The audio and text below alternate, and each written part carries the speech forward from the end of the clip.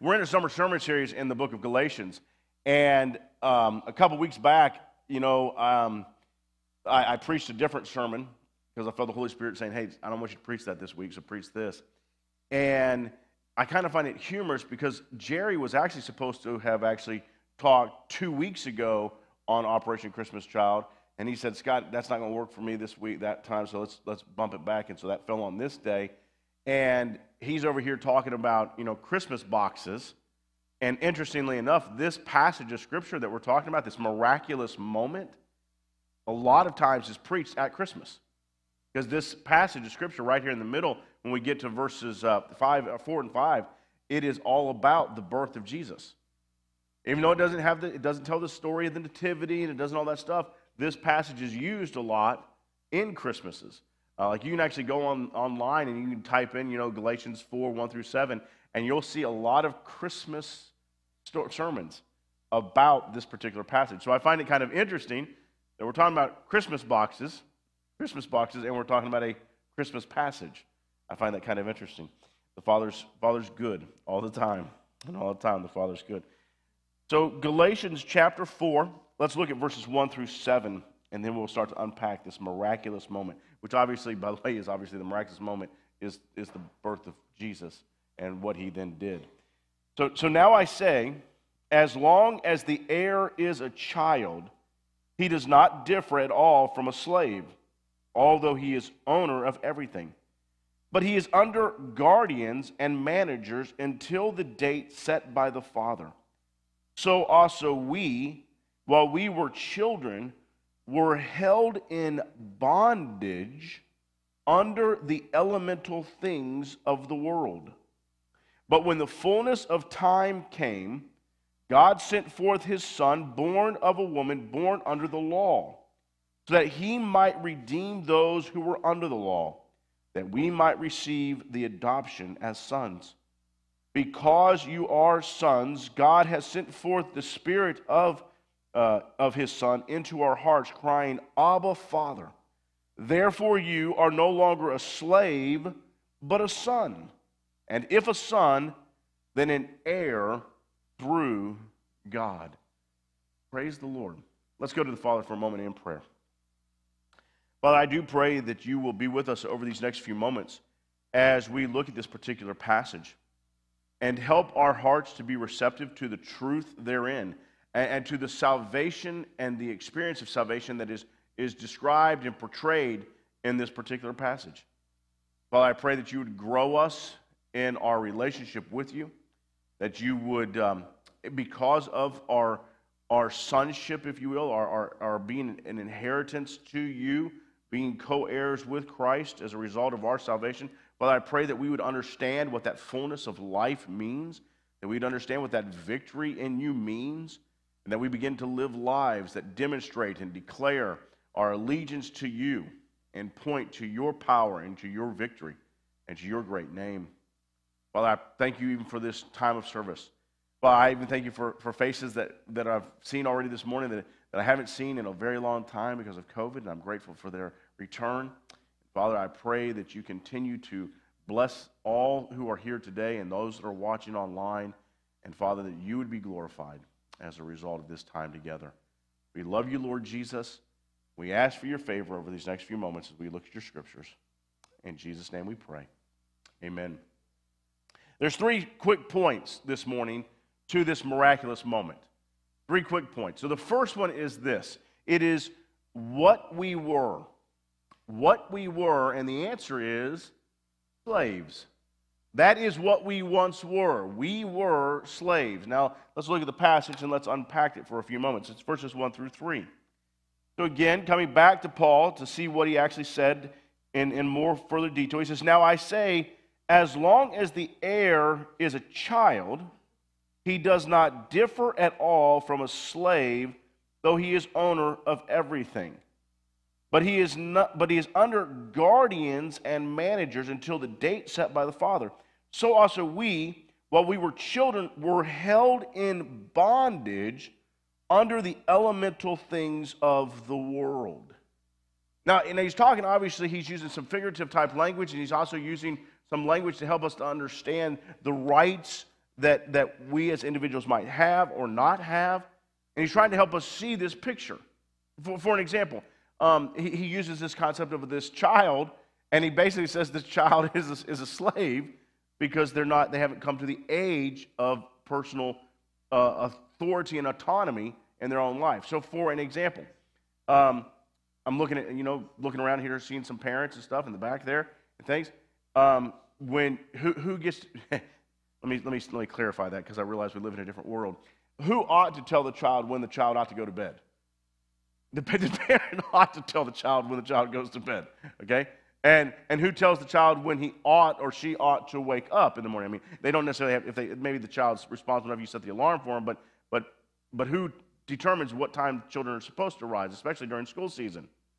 The, the parents are ultimately responsible.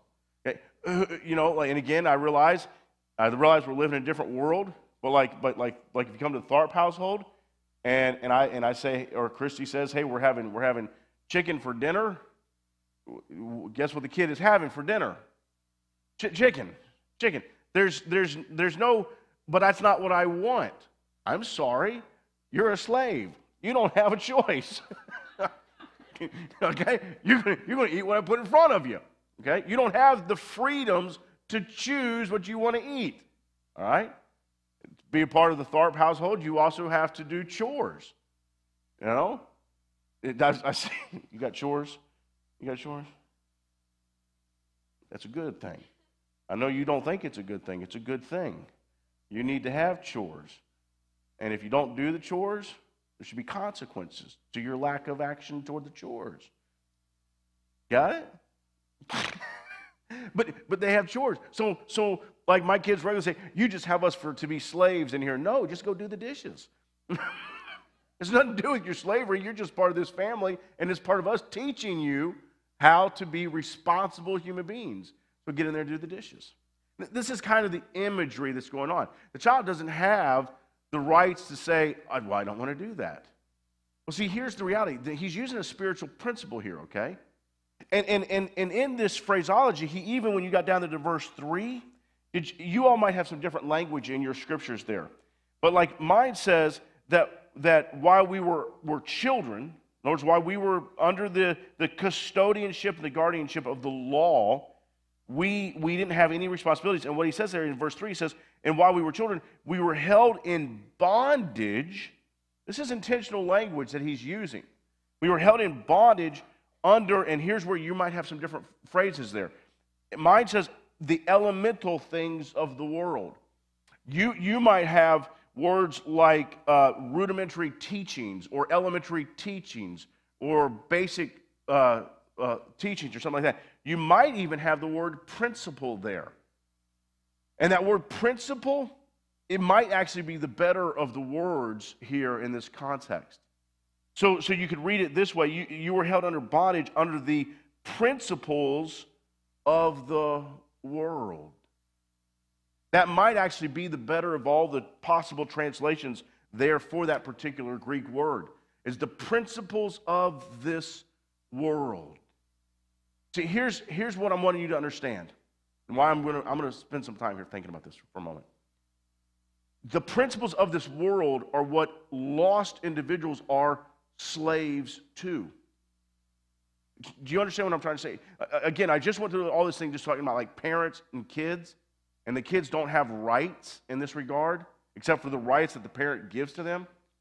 But when you're talking about slaveship, when you're talking about this world system, it's even far worse than what it is like with parenting kids. Okay?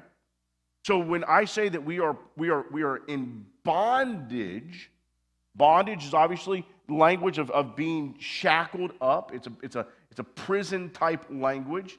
I, I don't have choice. I'm bound. I have to do what the, the guard or the master dictates for me to do. It's how I have to respond. That's this language. Okay? And so I'm in bondage to the principles of this world. So if one does not have a relationship with the Lord Jesus Christ, one has to respond to the principles of this world. Now, we can, there, there, are, you just need to understand, there are some because of just societal norms. Somebody might be, be raised up and they might be moral people. But what is it they're still a slave to? They're still a slave to their passions and bondage of their sinful nature. In other words, they might, they might be able to curb it off for a season, but they are going to eventually fall prey to the temptation of sin. It's because it is who we are before we come to know Christ. So we have literally no ability within us to hold it off for any length of time. And so when you say that they are in bondage to the principles of this world, we shouldn't be surprised when the world acts and lives and responds like the world. The world is what the world is. And we who are in Christ ought not to go, well, I just can't believe they did that. You ought to be saying when they actually do something good, you ought to be going, I can't believe they did that correctly. That would be the better response. When a lost person enters into sin, you should expect that. That's what lost people do. And so you should be going, didn't surprise me. They didn't have a relationship with Jesus. They were not eternally changed. They were not born again. So, what else did you expect? I mean, just, it was, it was I think it was two weeks ago. Christian and I went on a date. We were talking to, hey, what do you want to, what do we want to do? And she goes, well, what's, what's in the movie theater? I said, I don't know. I haven't been to a movie in a long, long time. I said, I haven't got a clue. So we, we pulled up. There's like, there was, because of the whole COVID stuff, movies aren't doing what they normally do. They're not releasing, you know, like eight, ten movies at a time. Stuff. There's, there were like four movies in the theater. And then they showed a couple reruns from like in the 80s. And those weren't any good either, by the way. But, but three of them were about mass murderers who were demon possessed. Um, one was actually about demon possession. The other one was an R rated movie that I can't remember even now what it was about, but it was blood and guts too. And then the only one that the PG 13 one was Cruella, the origin story of why she's mentally deranged. Okay? Those were the choices mass murderers, demon possession, or Cruella. So we went to a steakhouse and had dinner. Yeah, it was, it was a much better choice. it's a much better choice. But do you understand? Should we be surprised when this is what Hollywood puts out? No, we shouldn't be surprised by that. We shouldn't be surprised by that. Uh, uh, movies, entertainment, media, whatever, it is all pushing agendas, pushing agendas, pushing agendas. All right? It's all pushing us towards the sinfulness of this world, the acceptance of this. And it doesn't make a difference what subject we're talking about.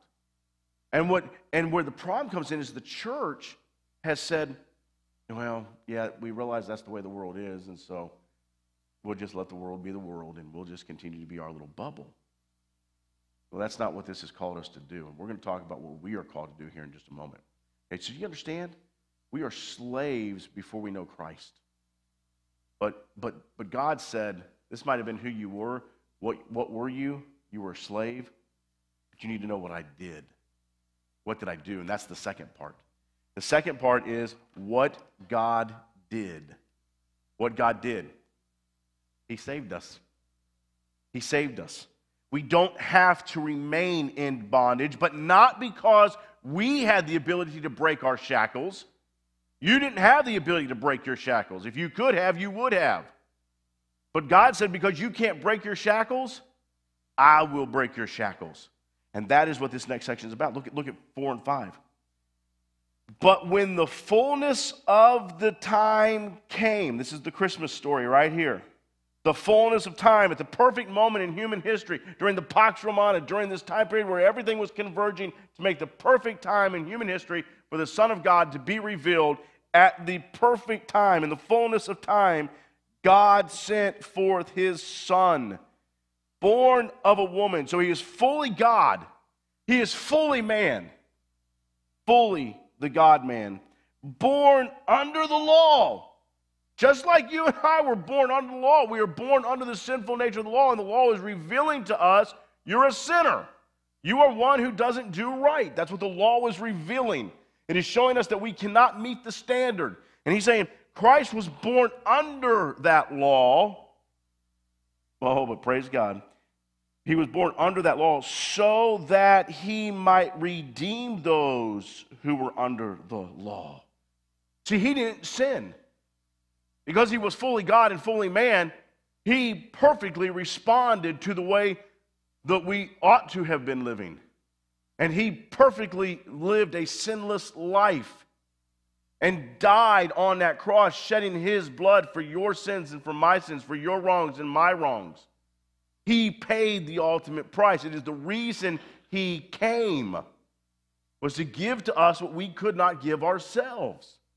And so out of this, he redeems us who were under the law that we might receive the adoption as sons. Ooh. This is what it's all about, beloved. This is what it's all about. You could not do it. So, because you couldn't, God says, I'll do it. I will save you. I will come in. I will rescue you. Now, look, obviously, you all know, those that are here, those that are online may not know this, and some of you that are, are, are, here with us for the first time, you may not know this, but me and Christian, we have three adopted kids. That's what we have. My adopted kids have every legal right to everything that we have. And that's even, even in that first part, even though, they were, even though they're slaves, right? Even though they're slaves, it said there, even that first part, it says that they, they had the legal right to it, did not? It says, it said, but as long as they are heirs, child, he does not differ from the slave, though he is the owner of everything. Okay? So if something were to happen to me and Christy, our will states that our kids get it. Now, granted, they get it incrementally because they're, they're still kids, right? So they get it in, in, in allotments along the way if we were to die right now. Okay? Now, when they become adults, though, when they get to a certain age and we die, what do they get? They, they get all that $5. That's right, Janice.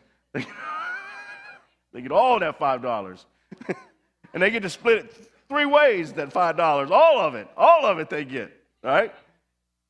So, so do you, do you see what I'm saying? But they, so it's theirs. As soon as we adopted them, everything I have became theirs. Everything. It is all theirs, even though they're slaves. Just go ask them, they'll tell you. Go ask them. Okay? So this is this is this is what we're saying. Jesus Christ says, you are adopted into the family. You're adopted in the family. And because you're adopted in the family, the yoke of bondage is broken. And now, because He's perfect, He lives within us.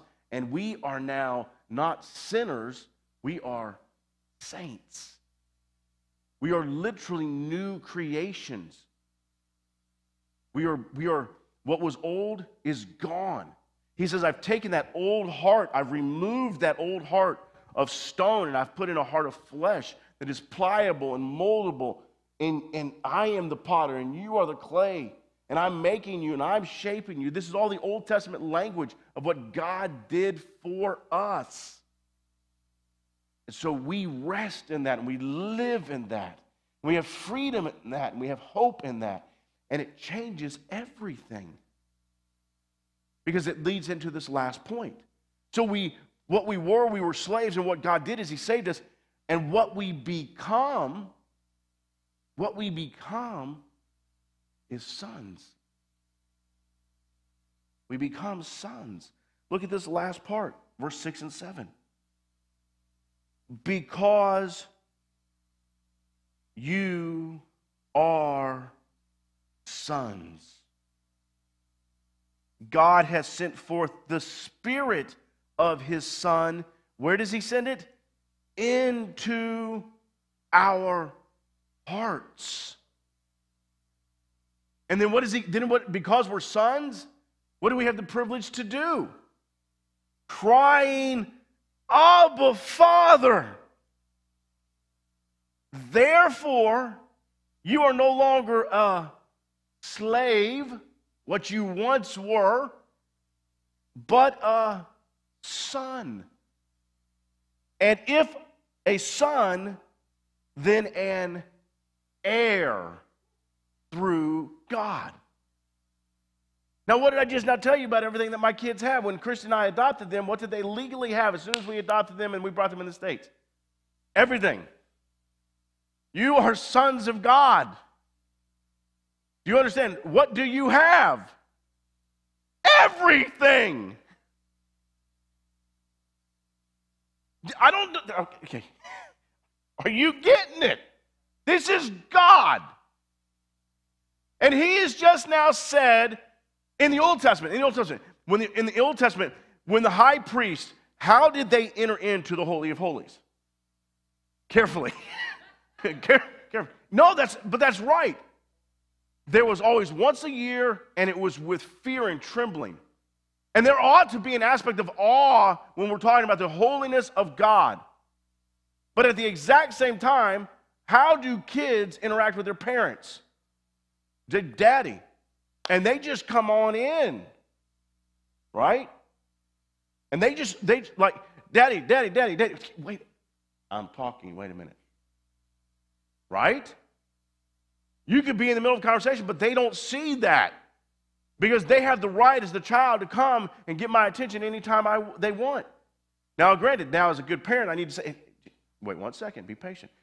And my kids, I think they've learned that, I think, for the most part. Every now and then they, they, it struggles, but, they, but that's what they do. But I'm teaching them, but, but they have that right to come in. And if the situation, if the situation actually warrants my attention, guess what happens to you if you're the one in the conversation with me? You lose. You understand? If the situation warrants my real attention, you lose. My kid's going to get my attention. You follow me? I love you. But they're going to always come first over y'all. Okay? And so, because of that, I'm going to turn, and this is what God's, God's saying, You are my children, and because you're my children, now you have the right to enter into my throne room going, Abba, Father, Daddy. I just want to talk to you. I just want to spend time with you. I just want to be with you. I want, I want you. You understand? And this is what this is all about. So you're no longer this slave who was once in bondage to sin where you couldn't resist it, but now you have the Holy Spirit who indwells you, and now you're this saint who is this heir of Christ. And because you're this heir of Christ, you have all the authority, you have all the power, you have all the resources, you have all the backing, you have all the ability, not in your strength, but in the strength of your adoption to say, No, I'm not going to walk that path. No, I'm not going to choose bondage to sin. No, I'm going to choose victory in Christ. Yes, to the glory of God. Yes, to His presence. Yes, to His power. Yes, to His presence. Yes, to my life in Him. Yes, Lord Jesus, yes. And this is who you get to become. This is your inheritance. And so often we walk around even though we know this is the reality, we still walk around as if we've lost. Love, keep reading the book. You didn't lose. So quit acting like you lost. The gates of hell cannot prevail against us because we win. So the lostness in the world, let's go out and be light. What happens to darkness when you turn on a light?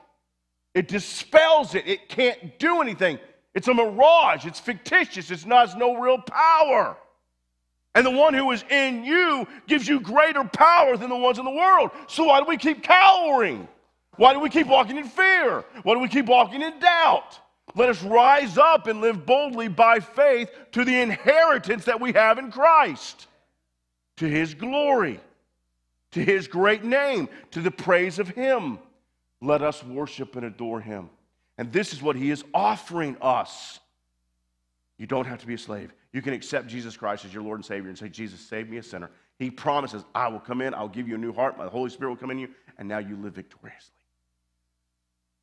You're watching online, this is the opportunity for you. If you're here in this room, this is the opportunity for you. It's free gift of salvation. And that's what this has been all about. And we're still, all this reason why we're doing this is because we're leading up to what does all this life in Christ look like? Well, as we keep going through Galatians this summer, you're going to see what this life in Christ looks like and how it is supposed to live, be lived out victoriously. Let's go to the Father. Father, I do thank you for this time. I thank you for this opportunity that we have had to look at the life change we have in you. Well, I thank you that you didn't leave us in that state of slaves. I thank you that you saw us where we could not resist. We had no power against sin. And you said, I will come to you. You can't come to me, so I will come to you. I will make a way. I am the waymaker to you. And Father, I thank you for all of us in this room and all of us that are watching online that have actually cried out and said, Lord Jesus, save me a sinner. Because it changes everything. It changes the way that we live in this world. It changes the boldness that we have. It changes the relationship we have with you. And Father, if there's anyone watching online, if there's anyone in this room that, that doesn't have a relationship with your Son, Jesus Christ, I pray that today is the day that they will cry out and say, Lord Jesus, I'm a sinner. I, I, I, I am, I've rebelled against you. I, I've chosen to walk in the manner of this world. I don't want to walk that way anymore. And Father, then, if you would stir their heart to let them say, Lord Jesus, come into my heart and save me. Father, we thank you so much that your Spirit does do that, your Holy Spirit comes to then indwell us and to make us whole and new and clean and pure. And so now, when you look upon us, Lord God, you, you don't see that old Adamic sin nature. You now see the blood of your Son, Jesus Christ, and you say, This is the righteousness of me in Christ Jesus. Thank you for that, Lord God. And now, Father, because of this gift, because of this, for those who will cry out and say, Lord Jesus, save me, the sinner, Father, they are now yours. They are your heirs. They are your sons and your daughters. They are born again. They are new creations. Father, I pray that you would help them to know who they are. Help them not to let Satan lie to them. Help them not to let Satan twist their thoughts and, and to attack them. But let them know that they have the power to take those thoughts captive and to lay them before the cross of Calvary and say, they are no more because of victory in Christ and Christ alone. Oh, Father, you are powerful and you are good and you are glorious. Father, meet with us. In Jesus' name we pray.